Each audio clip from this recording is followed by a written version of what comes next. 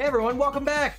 We're finally back with another MFP knowledge video, and this one is going to be based around the easiest level in Mario 3 rather than the hardest level of Mario 3. A lot of people struggled with this level as kids, and so did I, and we are going to look at World 2 Sun level. So without wasting any time, I just want to jump right in and get into the nitty gritty. I'm going to teach you exactly how to do this level every single time.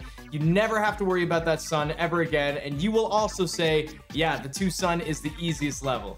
Let's jump right in. So first thing is first, we load up our practice ROM. I mean, whatever you guys have, emulator, EverDrive, practice ROM. Uh, some I used to use Game Genie. Game Genie actually works pretty well for practicing Mario 3 if you don't have either of those things. Normally when you do this level, you have a fire flower, so you're just gonna go ahead and equip your fire flower in save state. There is one thing to note about the sun. He does not get triggered until you're about halfway through the level. So if I just go and go, and then when we get close to about the halfway point, which is a little bit after the tornado, let's see, about halfway, there it is, about the halfway point of the level, then the sun starts to trigger. And man, oh man, did this sun ever give me trouble ever since I was a kid. But as a speedrunner, it does not give you any trouble at all. Now that we got a couple of those things out of the way, there's another thing that I want to show you, and that is you can actually kill the sun with a Koopa shell. All you have to do is wait for him to come down, you stand still, and you throw the turtle shell at him. Now the sun won't come back either. He's gone. So you, I mean, if you really, really wanted to in a non-speedrunner method, you could do that. That would be very easy. And then you could just, you could just do the level like pretty normal. But you guys want to speedrun it. You want to go fast and you want to turn this into being what once was the hardest level for you into the easiest level. All right, so as it goes from the beginning, we start the level and you want to hold forward and B. Mario runs with B button on the D-pad. Same, same button as shoot. So you press A to enter the level, and then you hold B and forward. Do just like that. Look at how I can show you guys. You see, this is how easy this level is. You know what? I'm actually gonna demonstrate to you guys like this, how easy this level is. I'm not even looking at the TV screen anymore. I'm using the OBS playback. Okay, the sun level is the very is the most easiest level. And look what I'm doing with my fingers. It was nothing. But let's actually get down to, to the science behind what I'm doing. The first thing I'm doing is holding B and running, and you just simply jump from platform to platform at the start. There's nothing special, there's no, no secret. Just jump from platform to platform. If you want to get really technical, you want to try and utilize a little bit running down these little slopes. Uh, I highly doubt it will even save you many frames, but you do get some weird pushes and stuff. Once you build P-Speed before the tornado, it's up to you how you want to do the jumps. I mean, it's open for everyone. I could do a full big jump and go right over the turtle if I wanted run down our hills. We get it. I like to jump across because I'm going for world records, so I really take these hills serious. So I run down as much as this hill as I can before I run into the Koopa, but you don't have to. As long as you jump over the Koopa, you're fine. So you just get P-Speed. See, I run down the hill a little bit, and then I'm right there. Next step is that when you get to this bush, this, uh, oh, okay. There's gonna be two big bushes and then one single bush. When you get to the middle of the single bush, that's when you're gonna wanna do your jump through the tornado. You see how I, I used the bush as the background? Oh, we almost got taken by the tornado. Okay, we're gonna get rid of this turtle shell. So there are two methods of getting through the tornado. I'm gonna save state here so we can play around with it. Uh, one of them is, is that you can just medium jump here and it just pushes you and you go, right? I've seen other runners do a jump before and crash down into the tornado like that. Or you can do the biggest jump possible up and through the tornado and just go flying into the air like this. However, you don't know exactly when you're gonna drop. Let's try it again. It all depends on how good you do. I mean, look at, I was in the air for so long, and I mean, you don't know exactly when the sun is gonna rotate and when he's gonna charge, right? And let me show you guys exactly what I mean by that. If we take a look at the sun right here, I'm gonna create another save state right here.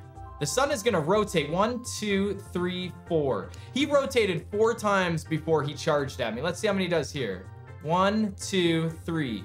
He did three rotations, you know, so that's why the sun is very strange.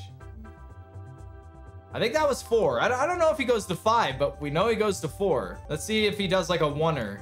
One, two, oh, he just did two there. So we've seen four, three, and two. Another thing to note about the sun, the priority of the sun's hitbox is on the left side of the sun. So if I stand here and the sun's coming and he gets close to me on the right side, you see how the sun pretty much touched me, but I was able to avoid it? That's not gonna that's not gonna be the same way on the left side of the sun. The hitbox is a little bit bigger on the left side. You see how kind of in the same place I was, and I still took damage, right? You see how close it was? Now let's watch him come very close on the right side of the sun, and you see how I didn't die? So the right side of the sun is safer than the left side. You see how easy it was for me to die there? Very, very annoying. You wanna know what's not annoying? Discounts. Today's video is sponsored by Into the AM. If you go into the description below, there's gonna be a link there with my code on. If you click that link, you can get 10% off your next purchase. Not only are these shirts incredibly comfy, but check out these designs. As soon as I saw these designs, I mean, I was sold. I mean, check this out. You can get a shirt that looks like this. If that's not your style, maybe you can get a shirt like this. I really like this shirt. Or my personal favorite, I love this shirt. If you're interested in a design like this, you can get this shirt right now if you click the link in the description. Woo!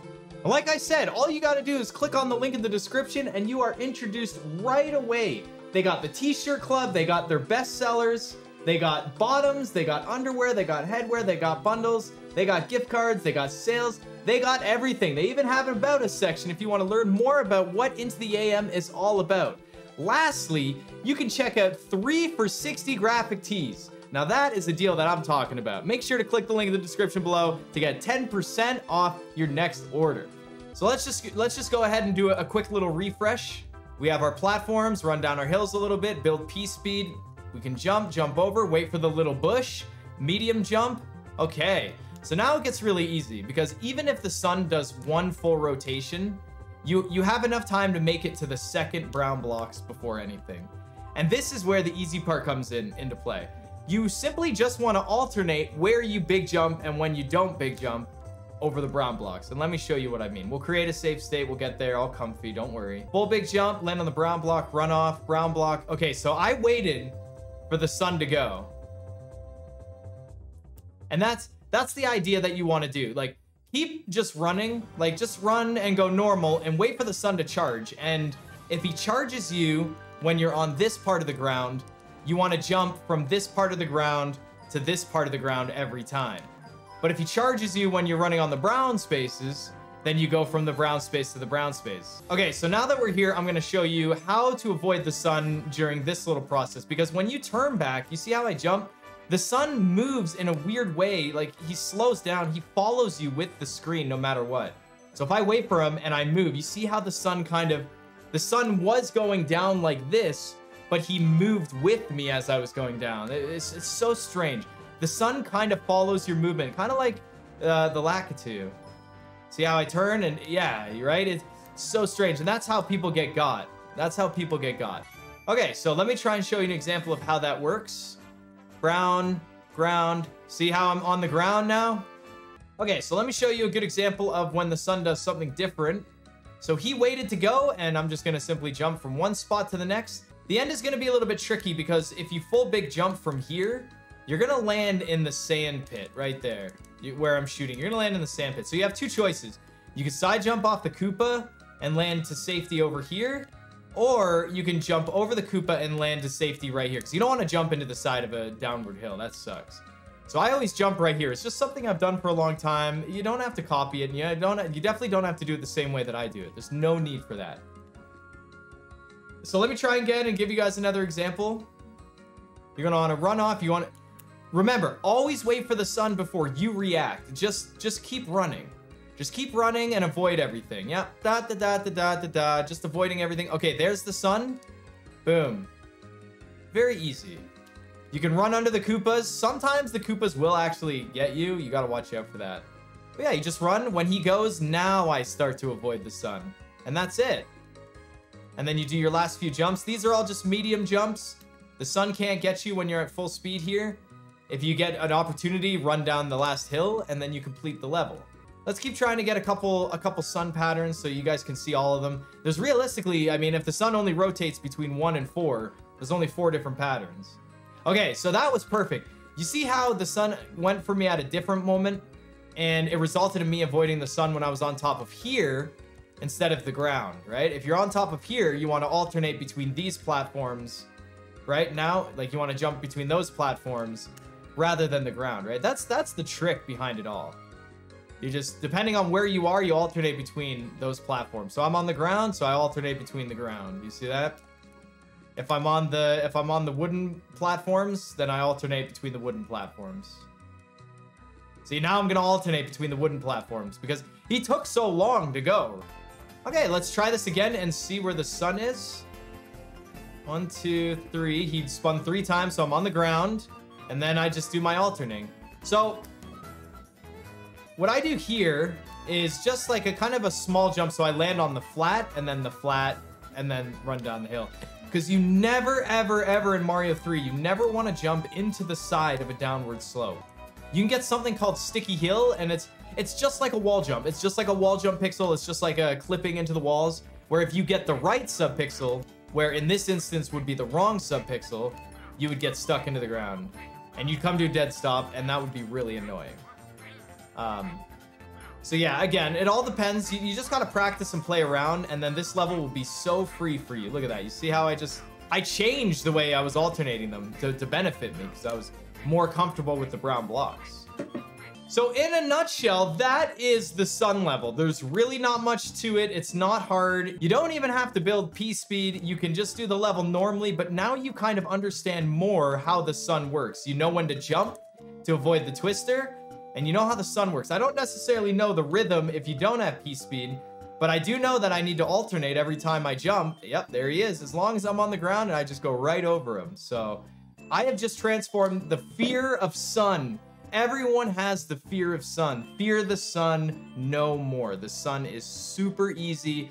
It, it, it's by far, it's one of the easiest levels. We can tackle the next easiest level in the next video. We could break that down and I can show you guys just how easy it is.